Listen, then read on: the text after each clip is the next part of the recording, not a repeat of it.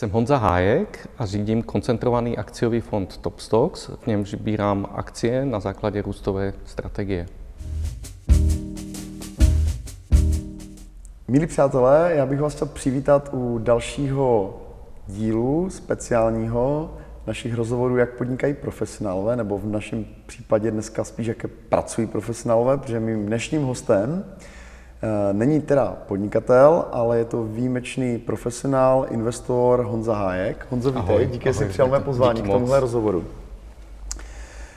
Honza uh, v podstatě sice je v pozici zaměstnance, ale je to zároveň jeden z nejúspěšnějších investičních manažerů vlastně v české moderní historii. Já když o tobě řeknu, Honzo, že vedeš vlastně investiční fond Top Stocks, eh, tak si možná ne úplně každý představí, eh, o čem tenhle rozhovor bude. Takže co, co vlastně děláš, co je tvoje práce, jestli bys to mohl přiblížit? No, moje práce je vlastně, snažím se pro lidi investovat do akcí, kdybych to měl říct úplně jednoduše. Vlastně celý ten fond, který, který řídím, jeho základní strategie je investovat do akcí, snažit se vybrat výjimečné společnosti, a pochopitelně každý podílový fond vlastně slouží k tomu, aby zprostředkoval tohleto investování vlastně lidem, kteří na to nemají čas. Mm-hmm. Já možná teda přiblížím, že ta tvoje výjimečnost spočívá jednak v konzistentně dobrých výsledcích, že vlastně ty vedeš ten fond 10 let, ten fond je v podstatě v setrvalém uh, růstu, stabilním, celkem na to, že to je v podstatě stock picking, vybíráš jenom některé tituly, tak to je obdivuhodný výsledek. Uh, ten fond je poměrně velký, vlastně ty spravuješ 7,5 miliardy vkladů, což je i na české poměry celkem hodně. Jak se vlastně stalo, že mm, ta velká bankovní instituce ti jako svěřila vlastně tu důvěru? Ten fond je navíc řízený čistě podle tvoje, tvojí strategie, takže vlastně jak, jak jsi vlastně dospěl jako profesionál do toho bodu, kdy jsi měl tu možnost si postavit ten fond úplně podle, podle svých představ? Mm-hmm. Jak no, stalo? dalo by se říct, že skutečně to je něco výjimečné, protože aspoň tady, řekněme, v evropském prostředí, možná ani ne tak v Čechách, v Evropě dokonce by se dalo říct, mm. možná ve Spojených státech, a nebo v těch anglosaských zemích, kde jako ta investiční tradice je větší, tak tohle to si myslím, že není až tak výjimečný. Většinou to, co se odehrává, je, že v každé investiční společnosti ty strategie většinou nějak bývají nadefinované. Člověk je tam přijatý jako investiční manažer, dostane, dostane vlastně jednoduché zadání. Na tu strategii a Tady má a strategii a, a plň, přesně. No. A já paradoxně jako vlastně jsem měl, jsem měl to štěstí, že když, když ten fond vlastně vznikal, já jsem předtím dva roky už pracoval ve spořitelně a dělal jsem podobný produkt, který filozoficky vlastně odpovídá Top Stocksu, ale byly to spíš jako investiční doporučení, bylo to nějaký analytický produkt. A ukázalo se, že vlastně naši klienti tak nějak měli, se jim to všechno líbilo, měli o to zájem, ale nechtěli si sami obchodovat. A my jsme teda došli, moji kolegové, došli vlastně k tomu závěru, že asi, asi stojí za to zkusit ten fond. A já jsem vlastně do toho fondu eh, promítl jednak všechno to, co jsem do té doby dělal, ale dalo by se říct, že mně se povedla taková jako výjimečná záležitost, že vlastně v rámci té instituce jsem promítl do toho své vlastní, svoji vlastní investiční filozofii, to, jak já bych si sám sobě chtěl zpravovat peníze. Mm-hmm. No, já si myslím, že možná je to hodně důležité, protože samozřejmě ono na jedné straně je to určitá profese a ty jakýkoliv zadání by si technicky měl být schopen, schopen naplnit, ale já často používám takový ty příměry v tenise, tak eh, když prostě tě někdo postaví, máš soupeře, máš ho porazit, tak i když ti trenér řekne, hraj obojručný backhand, no tak ho budeš hrát, ale jestliže se cítíš systému servis volej lépe, no tak mm. radši by si to postavil někde, kde si víc věříš.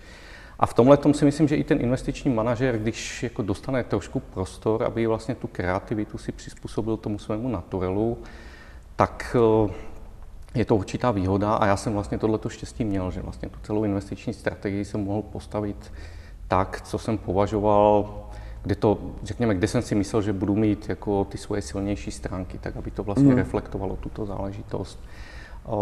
Taky vlastně to, co jsem si myslel, že dává smysl, protože další taková věc je, ty se taky trošku potřebuješ odlišit od ty nabídky, která tady je. To znamená, kdyby to byl standardní akciový fond, který investuje jenom ve Spojených státech, na základě standardní investiční strategie, tak asi bych tady zapadl mezi, mezi všechny ostatní. To, že jsem vlastně v tomhle dostal určitou ruku volnou a dalo by se říct, že ta největší výjimečnost je v tom, že jsem vlastně dostal prostor udělat ten fond hodně koncentrovaný. To je to, co bych řekl, že je tady relativně málo standardní. Kolik máte titulů v portfoliu teďka? Já tomu říkám, jako ten fond vlastně má maximálně 25 investičních nápadů hmm. a historicky prostě vždycky jsem říkal, jeden nápad rovná se jedna společnost. Je tam dlouhodobě jedna výjimka, kde vlastně jeden nápad je malé portfolio 12 biotechnologických společností. Ale dalo by se říct, že ta koncentrace vlastně vychází, to bylo to, co to byl ten výsledek celé té mojí filozofie. Já jsem vlastně tak nějak věřil, nebo to, co jsem chtěl do portfolia dostat, tak to byly výjimečné společnosti. Věřím tomu, že má smysl investovat do výjimečných společností, firm, které jsou něčím zvláštné, něco dokážou dělat hmm. mnohem lépe než všichni ostatní. No a když jsem tuhle tu myšlenku měl, tak samozřejmě to, co jsem si okamžitě uvědomil, je, že takových výjimečných společností nebude 200. Mm-hmm. Bude jich spíše méně než více. Určitě mě to bude stát spoustu práce, úsilí, vlastně nějakou takovou společnost najít, pochopit, vlastně přijít na to, v čem je ona výjimečná. A proto vlastně jsem pak i chtěl, aby, aby to portfolio bylo spíše úzké, koncentrované, protože jako čím více společností tam paradoxně máš, tak tím více se vlastně posouváš někam jako mm. že se spokojíš s nějakou proměrnější společností. Jasně. Uh, jak, uh, jak vlastně se vyvíjela ta tvoje pozice v tom fondu? Předpokládám, že teda jakoby tohle je obrovský tlak, že jo? Prostě ty tam osobně vybíráš, děláš ten takzvaný stock picking, vybíráš prostě jednotlivé tituly, spravuješ v podstatě miliardové částky, máš tam, jak říkáš ty, vlastně i veškeré vlastní úspory, teda jestli mm-hmm, to říkám správně. Ano, no. Což je teda obdivuhodné a je to jeden z důvodů, proč já jsem do Top Stocks investoval mimochodem. Mm-hmm. Že se mi opravdu líbilo na těch investičních konferencích právě tahle, ta, tahle ta část té tvojí filozofie, byť možná pro tebe netolik významná, ale pro mě je důležitá. Ale um, přesto jsi manažér, zodpovídáš se majitelům fondu, podílníkům toho fondu, to znamená, jak, jak se cítíš vlastně v té pozici? Jako je to přece jenom jako hodně velká zodpovědnost, co to pro tebe znamená? Já bych řekl, že ta zodpovědnost, víš co, no v podstatě nedá se říct, že, že je měřena penězma, protože tady v té profesi dalo by se říct, že ta reputace, člověk má jenom jednu reputaci a je v celku jedno, jestli ten fond má 100 milionů nebo má 7,5 miliardy. Prostě když se ti daří, tak určitě na tebe lidi koukají jinak, než když se ti nedaří. A v tomhle ten tlak je samozřejmě veliký. To mám na mysli, ty si vlastně no prošel, eh, ten fond vznikl 2006, 2008 eh, obrovský prostě propad. Mm-hmm. Co ty vlastně jako investor si cítil v té době? Jak si, jak si váš fond se samozřejmě taky propadl, že jo? No, strašně, no. Takže, takže jak, jak, jako co ty jsi vlastně odnesl z tady tohohle? Jakoby věřili ti vlastně ti zadavatelé? Jak, jak, jaká byla atmosféra třeba v tom fondu? Kdyby to byl tvůj fond, tak prostě řekneš, zatneš zuby, prostě musíme to přestát, jo, takhle si určitě čelil nějakým jako dalším tlakům, jak to, jak to probíhalo. Já bych řekl, že on ten tlak samozřejmě jako byl velký, ale současně byl globální chaos. Já si myslím, že mnohem horší by bylo třeba, kdyby jako mně se stalo jako jedinému fondu tady na trhu, že spadlo mm. o těch 60%, jak jsem spadl v roce 2008 a všem ostatním ne. To je mm. podle mě ta podstatně horší situace. Samozřejmě když je finanční panika, tak bohužel, jako já, když jsem ten fond zakládal, tak furt jsem si říkal, když budu mít výjimečné společnosti, tak on ten fond nespadne. Hmm. Aspoň nespadne tolik. No a pak se ukázalo vlastně, když přišla přišla krize a vlastně jaké po, ponaučení si člověk jako hmm. může z toho vzít, tak já musím říct, že po těch letech vlastně jediný, co, co si dokážu představit jako ponaučení, je očekávané neočekávané. Mm. No, protože to, co se tam odehrává, je strašně těžko pochopitelné. Takže zkrátka čekat černou labuť za každým rohem. To, to já nevím, že jestli přijde po každé, ale No, já zase historicky, když jsem třeba předtím chodil přednášet, tak já, já mám občas pár takových kacířských jako čtení a jedna z věcí byla, že vždycky jsem říkal, já když čtu knížky o historii finančních trhů, tak tenkrát, jako jsem říkal, no já bych si chtěl jednu finanční, pořádnou finanční krizi prožít. Protože člověk, jako když to pročítá, tak vlastně nerozumí tomu, proč ty lidi se tak iracionálně chovají. No a pak do toho spadneš, pak jako se to vlastně celé odehraje A a vlastně taky nevíš, protože vlastně celé to rozhodování, ono je strašně těžko postavit jakoukoliv investiční strategii na nějaké iracionalitě. Mm. A z mého pohledu, jako určitě samozřejmě pro mě to byl velice dobrý test, ty investiční strategie, protože se ukázalo, že má smysl být třeba v těch dobrých výjimečných společnostech. Oni mi tam žádná nespadla, jako sice měli třeba dva, tři, čtyři kvartály problémy, co se týče ziskovosti, mm. protože byla stlačená, ale nakonec se ukázalo třeba jedna z věcí, co jako já jsem z toho vyšel velice dobře, souviselo s tím, že vlastně když jsi lídr někde ve svém podnikání, tak většinou tam máš někde na pozici 4, 5, 6, 7 konkurenty, který tě, já tomu říkám, otravují. Mm. Prostě mají nízký marže, nízký ceny, nekvalitní výrobek, většinou jsou zadlužený a prostě mm. znepříjemňují život jako v tom podnikání. No jenom, že tyhle ty hráče pak to jako v té krizi smete mm. a najednou jako vlastně, když se jde nahoru zpátky, tak ty moji lídři, dalo by se říct, že částečně bezpracně získali část toho trhu, o který by se nikdy nesnažili, protože ty se nikdy nesnížíš k tomu, že jdeš s kvalitou výrobku dolů, aby si mm. tenhle ten segment získal. No, takže ono to přineslo i určitý tyhle ty překvapení a samozřejmě tenkrát ten tlak, jako, tak já, si, já si pamatuju jako asi takovou tu nejlegračnější věc, ten fond, když začínal, mě nikdo moc neznal, to v podstatě na tom začátku ty lidi, kteří do toho investovali, tak mě buď znali osobně, nebo mm. aspoň nějak zprostředkovaně. A byla tam spousta mých kamarádů, kromě mě a oni chodili a říkali, jo, Honzo, nic si z toho nedělej, však my jsme ještě mladí, ještě si něco vyděláme, prostě, jo, a takže, takže to bylo takový jako spíš, a já samozřejmě taky, když jako prostě jsem z té jedničky spadl na 0,40, tak jsem si říkal, no, to znamená, to je 150% nahoru a to budu vydělávat. 10 let. Jo, přesně. Vůbec, vůbec mě nenapadlo, že se to takhle rychle hmm. otočí. A Já bych sam... no. možná hmm. zeptal na jednu věc. A dokázal si vlastně v té největší depresi mm, tržní udělat to, co by asi teda investor možná udělat měl. Dokázal si nakupovat. Jakoby dokázal si prostě do toho trhu, který byl takhle jako znejistěný, jako investovat jako další prostředky a vyhledávat v, té, v, té, v tom největším propadu jako další tituly. Já sám osobně, třeba když vemu, tak jako i, i v té době jsem, jsem nějaké podílové listy přikoupil. Co se týče fondů, tak měl jsem trošku štěstí v tom, že vlastně když těsně před pádem Lehman Brothers tam mi převzali jednu firmu, mě tam skončil jeden příběh, takže já jsem paradoxně jako vlastně do toho propadu šel ještě s dvěma volnýma pozicema. A musím říct, že někde v listopadu já jsem obě ty, obě ty jako volný peníze jsem vlastně zainvestoval do nových společností, ale musím říct, že tenkrát jako vlastně, když jsem si vybíral, tak snažil jsem se držet jako Sice to byly vysoce kvalitní společnosti, ale určitě jsem tam viděl spoustu dalších věcí, ale neměl jsem tu odvahu. To, mm. to musím říct, že když to člověk jako prožívá, tak to nejhorší vlastně, co je, je ty nedohledneš vlastně tu délku. To dno, jak, jak to, ani, ani ne tu hloubku, ale, ale prostě kdy se to začne otáčet. A já sám jako vím, že mě se poprvé, když jsem začal rozumně chápat, co se tam vlastně odehrává, tak bylo až někde, když byla výsledková sezona za čtvrté čtvrtletí, to znamená někde druhá půlka ledna, začátek února, to znamená v podstatě nějaké tři měsíce od propuknutí krize, více než tři mm. měsíce.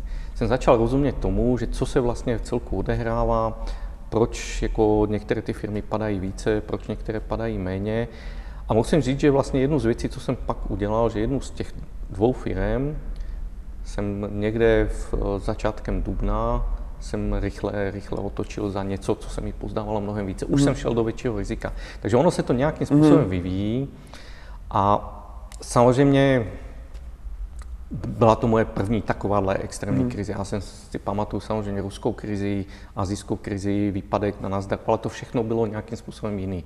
Hmm. Tohle bylo poprvé, kdy, kdy aspoň z mého pohledu... Kdy to se... pocítili úplně všichni zkrátka. Jo, skutečně to stahovalo i zdravé, zdravé části hmm.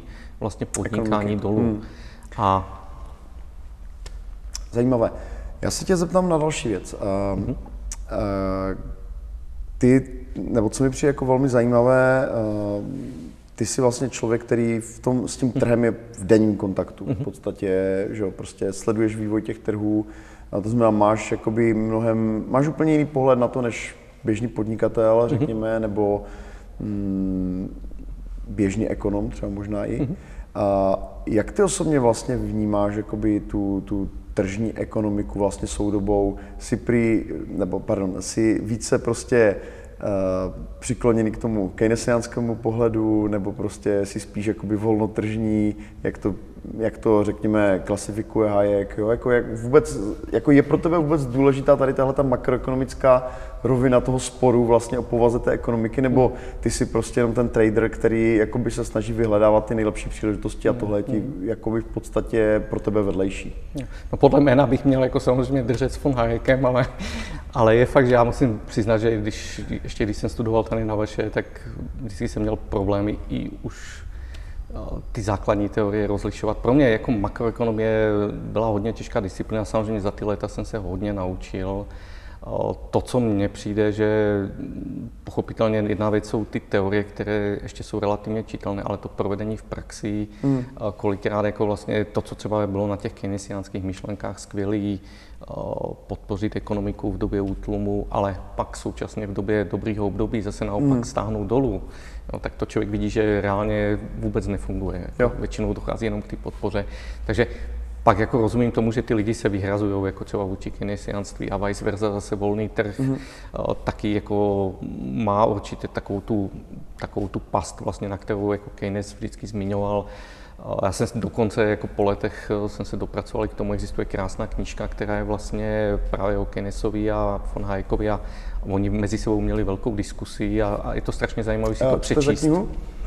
A já se musím přiznat, že asi zase název nedám dohromady. Doplníme, Doplníme do to, hmm. ale je to, je to strašně zajímavé, protože to je vlastně zasazený do toho období a je tam vlastně i vidět to, že oni oba dva vlastně vycházeli z nějakého prostředí, kde von Hayek zažil vlastně po první světové válce něco podobného, co bylo v Německu, tak bylo i v Rakousku, kdy vysoká inflace vlastně hmm. zlikvidovala majetky mnoha rodin a naopak zase Keynes vlastně pochází úplně z jiné části a tomhle historickém kontextu člověk rozumí vlastně oběma těm politikám, hmm. který oni se snažili, který se snažili vlastně propagovat. Ale je fakt, že z mého pohledu, jako já když se snažím investovat, tak si říkám, taková ta základní myšlenka je, já vlastně hledám výjimečnou firmu, výjimečné manažery, který se vlastně se vším tímhletím musí být schopný vypořádat, protože mm. ono, jako jakýkoliv podnikání, prostě není rovná čára, do toho se ti naskládá spousta překážek, do toho je nějaký ekonomický cyklus, poptávka, nabídka mm. a, a v konečném důsledku já vlastně jenom přesouvám peníze k těm, řekněme, schopnějším Nejlepším. a nechávám je, aby, mm. aby oni se s tím vypořádali. Takže Nesnažím se vlastně podle nějakých cyklů investovat, skutečně se snažím vybírat jako vlastně ty nejlepší manažery. Mm-hmm.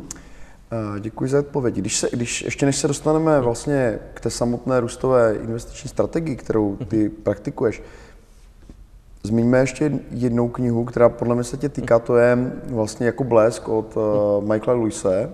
Uh, v podstatě problematika high frequency traderů, kteří v podstatě pomocí super rychlých počítačů a prioritního přístupu vlastně na ty trhy v podstatě holí všechny investory vašeho typu, kteří na tom přicházíte. Když, když se z tohoto dozvěděl, že ten HFT trading existuje, že vlastně tady ty firmy vydělávají v podstatě 365 dní v roce, jako co to, změnilo to něco, nebo jaký je tvůj vlastně pohled tady na tuhle, řekněme, z mého pohledu parazitující vlastně část toho trhu? No tak byl to šok, jako já nemůžu popřít vlastně, když jsem si to přečet. On technicky On jako, dobře píše. No, samozřejmě Michael Lewis jako skvělý knížky píše, to, to všechno se čte velice dobře, ale, ale tohle byl samozřejmě takový ten pohled, že člověk má kolikrát pocit, že rozumí všem zákon, zákonitostem a záludnostem, hmm. které jako vlastně ho denodenně potkávají a najednou zjistí, že ne. A vlastně asi ten největší problém s tím high frequency trading je, že že je strašně těžké si dokonce dopočítat vlastně, o kolik člověk přicházel, protože mm. nevidí tu alternativu, co by, co by bylo, kdyby nebylo. Na druhé straně, jako ono, vždycky ty trhy, tak jak byly organizované, tak vždycky ten, kdo by se dalo říct, že je organizátor toho trhu, mm. tak vždycky existovaly spready brokerské, ano. rozdíl mezi bit offerem. A, a dokud člověk jako vlastně má všechny, všechny ty informace, tak to není problém, protože tomu se dá přizpůsobit, ta strategie jako třeba v mém případě v okamžiku, kdy jsem tohleto zjistil, tak jsem si uvědomil, že vlastně to, co já vidím objemy obchodů, o kterých jsem si myslel, že to je vlastně prostý, prostý součet přes více burz, hmm. jsou reálné, tak tam se najednou ukáže, že vlastně některé ty burze, obchody na jiných burzách jsou vlastně jenom vyvolané těma mýma objednávkama, že ta hloubka mm-hmm. toho trhu je podstatně menší. Mm-hmm. No a v okamžiku, kdy tuhle informaci máš, tak samozřejmě zase se přizpůsobíš té strategii. Cílem jako vždycky, když já jako ani moc neobchoduju, spíš jsem takový ten dlouhodobější investor, ale kdykoliv prostě na ten trh musím vstoupit, tak už tohle to zohledňuju a ta snaha je prostě nevyčnívat, aby, aby nebylo vidět, že já jsem tam větší hráč, na kterého se oni povící. Jasně. Eh, když se na to ještě podívám jakoby z takového dlouhodobějšího hlediska, jenom taková otázka Pardon. stranou.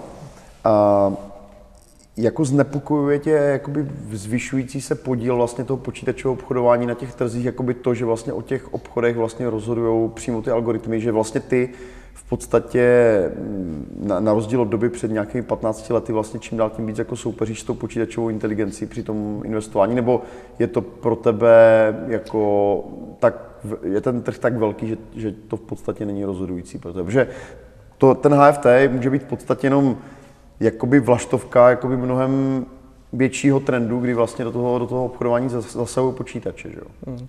Tak mě to připomíná dobu, já vlastně mě, když bylo 19-20, tak jsem hrával šachy a přemýšlel jsem o kariéře profesionálního šachisty a v té době už počítače jako samozřejmě začaly, začaly nastupovat a teď, teď v podstatě je trend, že když hraješ šachový turnaj, tak v podstatě když ti zazvoní telefon, tak tě okamžitě kontumuje, protože už ten telefon je hmm. schopen hrát jako podstatně rychleji. Ale na druhé straně, myslím si, že i tam je strašně moc podobného jako eh, v obchodování, jako v krátkém obchodování ten počítač určitě je rychlejší. Hmm. To, to samozřejmě i v šachách, kdyby hrál prostě velice krátké okamžiky. Ale myslím si, že určité věci jako dohlednout, a to, co dělá výjimečný investor i výjimečnými investorama, je dohlednout třeba, jak ta situace bude vypadat za 4-5 mm. let, jo. tak to kolikrát, to je vlastně jak předpověď počasí. Předpověď mm. počasí taky je skvělá, na jeden, dva dny je skoro 100%, ale kdybys měl odhadnout počasí na půl roku, no tak tam mm. ty počítače, i když mají množství dat, tak je to těžké. Mm, pro ně pořád neřešitelný, řekněme. A myslím si, že, myslím si, že i v tom investování tam stále zůstane nějaká část toho, která je velice těžce kvantifikovaná, to znamená, nejsi schopen vlastně napsat ten algoritmus. Mm. O, Dalo by se říct, že vlastně v investování to nejtěžší, nebo to, to nejdůležitější, co je, je si klást správné otázky. Mm-hmm. Jak naučit počítač, aby vlastně kladl správné otázky a dostal se ke správným odpovědím. Mm-hmm. Nebo to, to ti vlastně ukáže ten obrázek toho, že proč ta firma je výjimečná. Když Jasně. rozumíš tomu, jakých lidí se máš na jaké věci zeptat. No. Mm-hmm. Tak eh, já mám ještě pro tebe taky pár otázek. Mm-hmm. Doufám, že vím, jak klást otázky, takže v druhé části našeho rozhovoru si ještě řekneme něco o té růstové investiční strategii. Takže díky za tenhle úvod, krásný a budeme pokračovat za chvíli. Honzo, já bych se tě teďka vlastně v této druhé části toho našeho rozhovoru rád zeptal detailně a prakticky vlastně na tu růstovou investiční strategii. Eh, ty vlastně v Česku patříš vlastně jakým předním vlastně stoupencům tady téhle mhm. investiční filozofie. A mm, já jsem se vlastně s tebou setkal na těch eh, investičních konferencích, které uh-huh. pořádá Dan Gladiš s Lenkou Šánovou. Dan je z rozhovory, které jsme s ním dělali, on je prostě spíš hodnotový investor, nebo se tak profiluje. Takže kdybys měl ty představit tu svoji filozofii, jak, jak, co bys o tom řekl? V čem to spočívá vlastně? No já Prvně si myslím, jako ono standardně, když si otevřeš jakýkoliv odborný časopis, tak eh, řekněme takový to první rozdělení value, to znamená hodnota versus growth, růst, mm-hmm. je většinou spojeno s oceněním, že value investoři kupují nízké ocenění, mm-hmm. růstoví kupují vysoký. A já musím říct, že v mém ponímání je to spíš eh, jako krátkodobý investor, dlouhodobý. Já si dokonce myslím, že Dan Gladiš je mnohem víc růstový investor, než on sám jako si to uvědomuje. Protože když si to představíš vlastně na kurz akcie, vždycky mají vliv jenom dvě věci. Jak rychle ti ta společnost roste, to znamená, co se odehrává na fundamentech, a druhá věc, co se odehrává s oceněním. A ty můžeš vlastně vydělávat na tom, jak se za dobu ty investice vlastně ta společnost vyvine, mm. anebo jak se změní názor na tu společnost. A myslím si, že čím jako člověk investuje v kratších investičních horizontech, tak tím jako větší váhu má třeba to, že ty si říkáš, dobře, ta společnost třeba ani tak rychle neroste, ale nelíbí se mi to ocenění, myslím si, že to ocenění je příliš nízko a ono by se mělo změnit správně, mm-hmm. i když by to odpovídalo nižšímu růstu společnosti. Ano. A na druhé straně, když investuješ dlouhodobě, tak mnohem víc podle mě dostává, jako je strašný rozdíl, když máš společnost, která ti roste 5% ročně ziskovosti nebo 10% ročně. A když hmm. tohle to držíš 10 let, no tak ten rozdíl se ti promítne, i když prostě koupíš na nízkém ocenění nebo ne. S tím hmm. oceněním je mnohem víc spojeno to, že člověk musí správně jako trefit ten okamžik, kdy se to ocenění změní. A pro mě, jako vlastně já, proč já se definuji jako růstový investor, tak já tomu říkám tak, že vlastně já nechci kupovat společnosti, o kterých si myslím, že to jejich podnikání je průměrné nebo podprůměrné, že ta mm. společnost nějakým způsobem neroste. Protože v okamžiku, kdy tohle připustím, tak vlastně moje jediné zhodnocení je právě na, tom, na ty změně ocenění. Mm. A to já jako jsem zjistil, že, že tohle se mi odhaduje podstatně lépe, než přijít na to, co je výjimečná společnost. Mm. A když už na výjimečnou společnost najdu, tak samozřejmě taky někdy jako chci, aby to v tom ocenění nebylo, protože Dalo by se říct, že ta investiční příležitost nebo celé investování je jednoduchý. Jo? Mm-hmm. Když to víme, že investování je najít dobrou společnost a vidět to dříve než ostatní. Mm-hmm. Jo? Když tyhle ty dvě věci do, dodržíš, tak máš šanci na nějaký nadprůměrný výnos. A všichni víme, že já nevím, je spousta skvělých společností. Ale někdy je to v tom ocenění. To znamená, jako taky i růstovou společnost by si optimálně chtěl koupit za cenu nebo za ocenění, mm-hmm. které ještě vlastně tenhle ten budoucí scénář sobě neskrývá. Takže když to, to zase mám společný já, jako mm-hmm. určitě s těma lidma, jako mm-hmm. value, ale to, co si myslím, co se od nich odlišuju, je skutečně to, že já si nekoupím asi společnost, třeba nějakou elektrárenskou rozvodnou společnost, o které mm-hmm. vím, že vlastně Neroste, elektřinu neprodá. Každý rok, jestli mm. prodá o procento víc, jo, jo. tak to je, to je maximum. Jo. To znamená, jakoby tvou specialitou, pokud to teda mm, řeknu tak, jak to chápu, to tvoje vysvětlení, je tedy jako zaměřovat se na společnosti, které jsou jako pokud možno vysoce růstové, že tam vidíš ten velký potenciál nebo ho částečně vidíš i na těch historických datech a zároveň pro tebe není až tak podstatný, jako jestli to mm, aktuální ocenění je o 10% nahoru nebo dolů, prostě snažíš se to koupit v momentě, kdy, kdy na to přijdeš a dřív, než se to promítne do té ceny, jako víc, jo? Nebo no, dalo by se říct, že... To, jestli to chápu dobře, jo? abych to zrekapituloval. Ocenění je taky důležité, ale ne, spíš to je o tom, že když se s oceněním za dobu mojí investice nic nestane, tak mě to nevadí, protože já vím, že vlastně na tom, jak porostou tržby, jak poroste mhm. ziskovost, mm. já vlastně zrealizuju ten svůj výnos. Mm. Nesnažím, se, nesnažím, nesnažím se spolehat na to, spíš si hlídám to, že aby to ocenění příliš nešlo dolů, protože když půjde dolů, tak ti to samozřejmě odebere to, co ta společnost vygeneruje. Mm. A to, co podle mě je kouzlo... Ocenění, aby jsme byli přesní, ocenění teda nemyslíš cenu, ale prostě vztah ceny a vlastně tak, to fundamentu tak, té společnosti. Tak, přesně, protože tohle to ti vlastně vždycky říká něco o té společnosti. Ten samotný kurz jako číslo ještě hmm. je nic nevypovídající hmm. hodnota.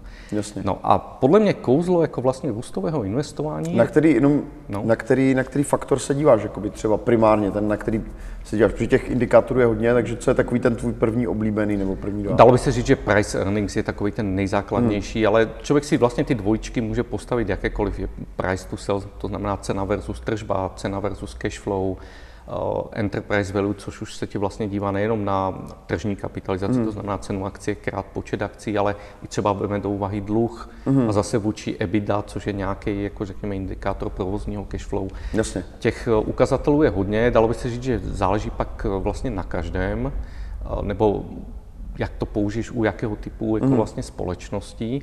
A myslím si, že to kouzlo největší vlastně růstového investování je, že ty, když jako narazíš na dobrou společnost, která roste, tak v tom můžeš skutečně zůstat i 10-15 let a, a ona v podstatě furt pracuje za tebe. Zatímco mm. když jako člověk se snaží jenom vlastně chytit tu, to ocenění, tak v okamžiku, kdy máš pocit, že to ocenění je v pořádku, ale ten růst samotný podkladový tam není, no tak už musíš mm. hledat novou investici. Jasně. Jo. A myslím si, že ten valuační faktor má tendenci se častěji, jako to je vlastně ten šum na té burze, který je, vlastně způsobuje tu volatilitu, mm-hmm. to, co se tím mění mnohem častěji, to znamená, tě to nutí do, řekněme, častějšího obchodování. A řekl bych, že to je asi ten největší rozdíl. Mm-hmm. Uh, ty se vlastně tím stockpickingem nebo tím mm-hmm. výběrem těch jednotlivých titulů jako zabíráš nějakou dobu. Že? A uh, to znamená, jsi úspěšný investor, takže je docela dobrý předpoklad, že máš už trošku jako vytrénovaný mozek na výběr těch dobrých titulů. Že? To znamená, když se podíváš za odstupem těch 20-25 let, co se, tomu zabývá, co se tím vlastně zabýváš, na to, co dělá ty dobré růstové společnosti, co to je, na co ty se, na co ty se díváš, jo? Jako, mm, jak často se pleteš třeba? No, první věc je, že, že, že tohle není činnost, kde máš 100% úspěšnost. Samozřejmě. To je, to je jako prostě jedna z profesí, kde když to vemu, člověk staví domy, no tak kdyby ti každý nebo dva z pěti domů ti spadly, no tak, tak je zlé. Jo. Mm. U mě je normální, že dva, dvě z pěti investic skončí špatně. Mm. A je to, souvisí to právě s tím, že někdy jako člověk si říká, tak já potřebuji vidět něco jiného, než vidí ten trh, ale ukáže se, že trh má pravdu, já nemám pravdu. Jo, vždycky musí žít vlastně do nějaký takový jako kontroverze s tím trhem. Ale to, co ty firmy dělá vlastně úspěšný, já si myslím, že na začátku jako skutečně je to, je to pochopení ty výjimečnosti, že člověk jako přemýšlí nad tím, proč nikdo jiný tohle to nemůže udělat. Mm-hmm. A, a to je vlastně, kdybych, kdybych měl definovat jenom jednu jedinou otázku, na kterou si potřebuješ zodpovědět, mm. tak je to přesně tohleto. A já vlastně vždycky mám nějakou takovou hypotézu, že si říkám, tak začínám rozumět tomu, proč ten produkt je oblíbený, proč to třeba ta firma dělá jako dobře. A vlastně si vytvořím nějakou hypotézu a tu se snažím jako si vyvrátit. Mm-hmm. A vlastně u těch všech jako úspěšných investic to bylo tak, že já jsem si nebyl schopen vyvrátit vlastně ať jsem hledal jakýkoliv důvody. Takže jsi šel proč... takovou poprovskou metodou té falzifikace. Dalo, dalo by se říct, že, že, že, že přesně takhle jako vlastně ty jsi schopen identifikovat něco, něco, co je úspěšné, ale... A teď mám teda jako, jako důležitou doplňující otázku k tomuhle, uh, protože určitě, když někdo, kdo se na nás dívá, bude chtít jít přesně touhletou cestou, mm-hmm. jak důležitou složkou v tomto rozhodování je brand. Protože uh, ten brand je samozřejmě jakoby na tom trhu hodně důležitý, ale teď je otázka, jestli to je to, na co ty se díváš, že si to zahrnuje vlastně i ten brand, ten výběr. No, záleží jak jde, jako zase u jakého typu podnikání. Já jsem vždycky říkal, vem si Coca-Cola. No. Coca-Cola je černá limonáda sladká. Jo, v čem je problém udělat něco velice podobné. Mm. No, ale ta hodnota Coca-Coly je asi právě o tom brandu. Myslím si dokonce, že kdyby, kdyby se tady spustila regulace, kdy jako vlastně na ty etiketě by pod Coca-Colou muselo být napsáno no, cukr zabíjí, tak paradoxně všechny tyhle ty firmy by měly mnohem větší problém. Mm. Jo. A to strašně záleží, jako je to u každé u každý firmy by se dalo říct, ale brand je jedna z věcí, jako všechno, co ti nějakým způsobem definuje výhodu. Já mám firmu v portfoliu, která vlastně dělá dámské prádlo, a to, co mě jako přišlo tenkrát, jedna z věcí takových těch strašně kouzelných, vem si, každá firma musí zaplatit těžké peníze za to, aby, reklam, aby udělala reklamu svoji nové kolekci. No, v případě Victoria's Secret, to je vlastně, oni jednou za rok mají vlastně takovou tu modní přehlídku, kde všechny nejhezčí a nejlepší modelky si považují za čest, že vůbec můžou jít předvádět to prádlo. Mm. A všechny televizní stanice vlastně platí těžký dolary za to, aby to mohli vysílat. Mm kolik je takových firm, který jako vlastně má tuhle tu konkurenční výhodu. Jasně. Jo? Takže pokud... Takže hledáš pár takovýchhle mm. věcí, ono se ti to spojí pak do nějaké mozaiky. Mm. A myslím si, že to co, to, co, jako samozřejmě to, co je tam ještě takový to jako strašně těžce předvídatelný, že stále se bavíme o budoucnosti, že ty kolikrát jako si říkáš, dobře, ta firma je výjimečná, ale stále musí exekuovat, protože oni ty konkurenti taky nespí, neustále se snaží mm. vyvíjet, to znamená, má to určitou dynamiku a někdy ta firma jako ztratí nějakou hmm. část ty výhody.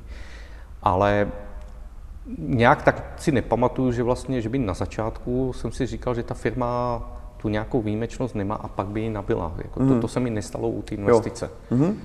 Když se ještě vrátím eh, k tomu, na co se díváš, eh, podle čeho říkáš, dívám se na vývoj vlastně ziskovosti té společnosti. Na jaké parametry se díváš? Na čistý zisk nebo na obrat a Nějaký, jo? Jako, jaké jsou, jaký, jaký ukazatel je pro tebe takový ten rychlý indikátor toho, ano, tahle společnost jako roste? Tak u mě to začíná vždycky fyzickým množstvím. Jo? Jako jakýkoliv produkt Aha. máš, tak to mhm. chceš, aby se to prodávalo hmm. více kusů. Takže jednotky prodeje? Jednoznačně jednotky. Jako třeba hmm. kdykoliv já třeba se nesnažím ani moc investovat někde, jako třeba je právě elektřina. Jo. Elektřina jo. jako takový množství moc neroste, ale lítá ti tam cena. Mm-hmm. Cena je pro mě podstatně hůř předvídatelná veličina. No ale pak, kdybych řekl takovou jednoduchou rovnici, to, co bych jako obecně chtěl vidět, je roste fyzické množství. Optimálně ty tržby by nějak měly být v tomhle v relaci. Mm. A pak, když jdeš vlastně dál dolů, výsledovkou, tak to, co by si optimálně chtěl vidět, je, aby ta firma nemusela vynakládat více nákladů na dosažení další jednotky tržeb. Mm-hmm. No, to znamená, časem, aby ti třeba provozní zisk rostl rychle, abys tam měl nějakou provozní páku, to znamená, využíváš lépe ty náklady, mm. které už tam jednou jsou zabudované. A, aby ta firma se nemusela zadlužovat nebo emitovat další kapitál ke svoji expanzi. Aby to svým způsobem, dalo by se říct, aby to šlo tak jako relativně hladce. No, naopak, aby v té firmě zůstávalo více a více peněz, které se může reinvestovat někam jinam, mm. případně jako vlastně může skupovat vlastní akcie to je, to je něco, co, co bych samozřejmě chtěl u těch firm všech vidět. Faktem je, že, že jako to podnikání nikdy není rovná čára. Prostě hmm. někdy se stane, že v nějakém kvartálu prostě to nezafunguje, a, ale chtěl bych to vidět dlouhodobě. Hmm. Když se podívám vlastně, a to, co já, dalo by se říct, že hledám u těch firm, já říkám, že ani tak nemůžeš kontrolovat cenu akcie, protože na to má vliv spousta věcí, co se odehrává na burze ale spíš chci mít něco jako kontrolu toho příběhu, to znamená tak dobře rozumět ty společnosti, abych rozuměl tomu, jaký typ informací bude od nich chodit.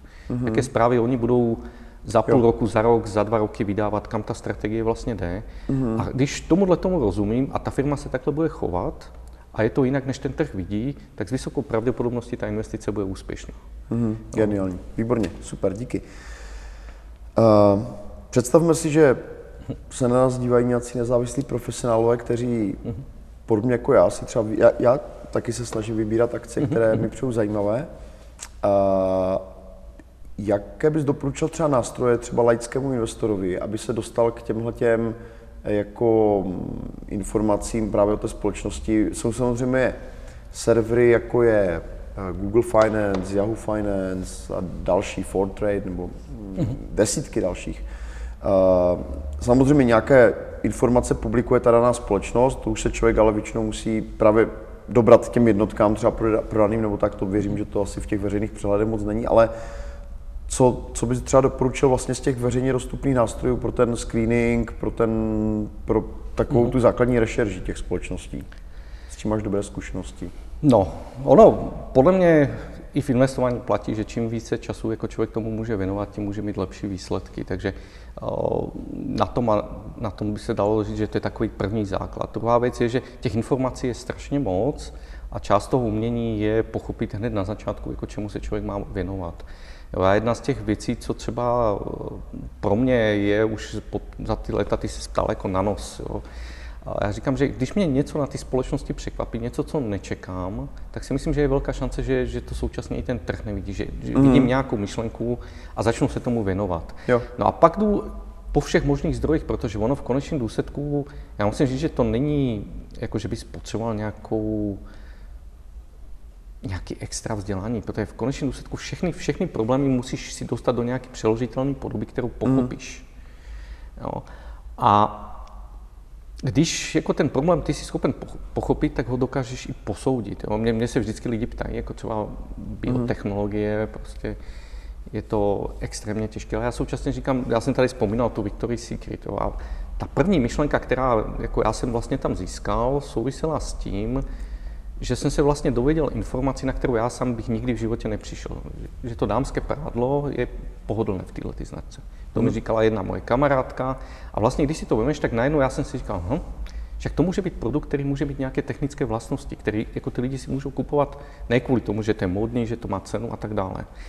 A když si to vemeš, tak tohle je typ informací, který, no já vždycky říkám, jako, však člověk může investovat i jako sám, protože třeba někde pracuješ v nějakém oboru, víš, mm-hmm. kdo je ten tvůj nejhorší konkurent, který ti otravuje život. Mm-hmm. A pak není nic jednoduššího, když ty rozumíš tomu, že v čem on je výjimečný, v čem je dobrý, proč by se to nedaří vlastně mm-hmm. jeho, jeho zlomit, tak to je optimální investice. A někdy mm-hmm. tohle jsou ty nejcennější informace, které Aha, potřebuješ získat. Jasně, no. A samozřejmě to je takový to gro, protože tohle, když člověk pochopí, tak všechno ostatní, ty čísla, které jako mm. vlastně hledáš všude ve finančních výkazech, tak ti většinou jenom doplňují ten příběh. Mm. Jo, podle mě správně, jako samozřejmě by to mělo sedět tak, že když člověk vidí nějaký příběh, rozumí mu, tak musí samozřejmě i ty čísla to doplňovat. Mm. Musí to sedět v jedné logice. Jasně, Neexistuje, jasně. aby prostě jedno ukazovalo jedno, druhý, druhý. Mm. Jo. Děkuju. Uh, když, když uh, se třeba opřu o to, o to hodnotové investování. Tam existují servery typu Value Line, kde člověk, já nevím, zaplatí třeba 500 dolarů ročně a oni mu posílají třeba jeden investiční typ jako měsíčně. Takže prostě ten investor si může dva, tři vybrat ročně a zainvestovat třeba vyšší částku. Je to prostě, řekněme, taková, takový kompromis mezi vlastním stock pickingem a jakoby investováním do nějakého fondu typu Top Stocks. Uh, existuje vlastně v tom růstovém investování taky nějaký jakoby takový autoritativní zdroj, který prostě dokáže pomoct těm individuálním investorům třeba vybírat uh, ty zajímavé příběhy, jak ty tomu vlastně říkáš? No já jako musím říct, že když jsem se takhle díval, tak to je možná ten trošku rozdíl mezi vlastně tím hodnotovým, že hodnotové je mnohem víc jako kvantitativní, že ty tam mm. vlastně jsi schopen ty čísla nějakým způsobem zhodnotit, mm. ukázat ten rozdíl v tom ocenění, zatímco ten příběh je vlastně příběh. To je prostě No, to nikde nedostrukturuješ do nějaké databáze, mm. že by to jen tak jako vypadávalo. Dokonce já vždycky, když kdykoliv sleduju prostě nějaké akademické studie, které porovnávají jako úspěšnost investorů, tak to vždycky vidíš, že strašně moc studií je věnováno právě ocenění. Mm. Ale strašně málo studií, nebo to v podstatě jsou výjimečné záležitosti, že by se někdo věnoval tomu, proč jako tenhle ten investor byl úspěšnější v vybírání těch nadprůměrných společností. Mm. Jo jak poznal, že vlastně to bude do budoucna nadprůměrná společnost. Jasně. A proto bohužel jako většinou asi nejsou ani takhle jako strukturované nabídky, protože je strašně těžké tohleto zgeneritovat. Hmm. Jo, dal by se říct, že pak i ten můj styl vlastně je, nedá se dělat jinak než stock picking. Já nemůžu hmm. moc postavit nějaký filtr, mhm, protože hmm. začínám vždycky od individuálního příběhu a snažím se ten příběh jako vlastně rozvrtat tak do hloubky, že ho pochopím a, a snad objevím hmm. něco speciálního. Jo, díky, to je, to je skvělé. Já myslím, hmm. že právě pro lidi, kteří jsou nezávislí profesionálové hmm. a jako orientují se mnohdy v tom hmm. oboru jako úplně jinak než like, tak to může být jako hodně, hodně inspirativní ten tvůj pohled. Uh, já se ještě, když se vrátím eh, v podstatě k tomu eh, tvému fondu Top Stocks, mm-hmm. existují samozřejmě i, i jakoby fondy, které jsou obchodované na burze, takové ty ETF fondy. Mm-hmm. Oni jsou často levnější, nemají ty vstupní poplatky. Mm-hmm. Poplatky za management jsou skryté vlastně už v nějakých jakoby, nákladech té mhm, mhm. společnosti. A existují nějaké ETF fondy třeba, které jsou právě orientované i tady na tuhletu mm, jako investiční strategii, jako setkal jsi se s tím třeba někdy? Ono to existuje, vlastně se tomu říká Smart Beta, jo? protože Smart Beta je vlastně, dal by se říct, zase velice podobný levný nástroj, ale zase to musí vycházet z něčeho, co je kvantifikovatelné. Hmm. Samozřejmě já, já třeba vím, že mm, dělají se fondy i třeba jako narůstové věci, ale tam celý problém je v tom, že ty si říkáš, dobře, tak jestliže vemu 100 nejrychleji růstových společností, které nejrychleji rostly, jejich hmm. ziskovost rostla v minulém roce, tak ještě musíš mít určitou kontinuitu, že těchto těch 100 společností taky Jasně. poroste do budoucna. Jo, hmm. dalo by se říct, že to nejtěžší v tom investování je, že vlastně ty vždycky vidíš jenom ten obrázek dnešnímu dní hmm. a furt musíš odhadovat do budoucna. A potom vlastně člověk tak nějak jako doufá, že vlastně to, co vidí, bude mít kontinuitu. Hmm, jasně. Jo. A ty smart beta fondy jako samozřejmě existují, je to takový ten, jako řekněme, jednodušší způsob eh, investování. investování. I třeba do růstových strategií, jo, mm. různých dalších strategií, třeba vysokodividendové stoky a, a mm. tak mhm. dále. Jako vlastně všechno tohle můžeš nadefinovat. Já si myslím obecně, že asi největší výhoda těch ETF samozřejmě je v tom, že pro spoustu investorů je to jeden z nejlepších nástrojů. Jo. Pro kohokoliv, kdo, kdo jako vlastně nechce tomu věnovat čas, tak určitě tohle je lepší věc, než když si otevře libovolný noviny, tam si přečte mm. jeden článek a na základě Jasně, toho koupí samozřejmě. společnost. No, mm. to, to je prostě špatně. A na druhé straně samozřejmě taky to není takový ten všelek, protože jako Vem si každé ETF, jako třeba, i, i si koupíš ETF třeba na S&P 500, to znamená už je široce dobře diversifikované, mm. 500 největších společností, ale furt ti nakonec zůstává takový to řešení, proč právě těch 500 společností, proč právě těch amerických společností stále nediverzifikuješ. Mm, jako, dalo by se říct, že kdyby existovalo optimální ETF, které je globální, zahrnuje všechny možné akcie, které se obchodují mm. ve všech měnách, tak asi tohle by byla jako rozumná cesta pro spoustu investorů. Ale i ty ETF vlastně není to tak, že člověk úplně zbaví veškerých, veškerých možností mm. rozhodování. Mm a, a já vždycky říkám třeba takové ty klasické tržně kapitalizační, tak z mého pohledu vždycky měli třeba dva problémy, kdy jsem si říkal, že když nic jiného, tak ty společnosti jsou navážené v tom ETF podle tržní kapitalizace. Hmm. Proč právě ta větší Jasně. společnost by měla být lepší investice než ta menší? Hmm. No a Chápu. druhá věc je, že když máš omezený index, tak vlastně ty minimálně ve dvou skupinách společností vždycky budeš špatně. V těch, mm-hmm. které budou vypadávat z toho indexu, tak ty máš a nechceš je mít, protože evidentně to budou špatné společnosti. Mm-hmm. A naopak, ty, které se v budoucnu do toho indexu dostanou, Jasně. tak je taky nemáš. Mm-hmm. Jo? Dobrý, děkuji za upřesnění. A úplně poslední otázka, mm-hmm. slušná odpověď. Já jsem mm-hmm. četl knižku, kterou si doporučoval od eh, Fishera, Common mm-hmm. Stocks, Uncommon Profits. Mm-hmm. Máš třeba ještě nějaký další knižní typ, který bys doporučil právě pro lidi, kteří by se chtěli vzdělat této strategii? Stačí aspoň jedna kniha, jako na takhle na závěr. Já myslím, že těch knížek je hodně, ale kdybych měl v podstatě, já nevím, Stačí Warren Buffett, jo. Peter Lynch, mm-hmm. ale z takových těch neznámých, John Neff, eh, podle mě velice, velice neznámý mm. investor, šikovná knížka. Phil Fisher má syna Kena mm. Fishera, který píše taky krásné knížky. A Výborně. asi tyhle. Tak moc děkuji. Honzo, chtěl bych ti poděkovat za rozhovor. Doufám, že to našim divákům eh, trošku ukázalo ten svět toho růstového investování a mm-hmm. moc se těším na tvoji další přednášku na investiční konferenci. Jo, děkuji moc krát. moc děkuji.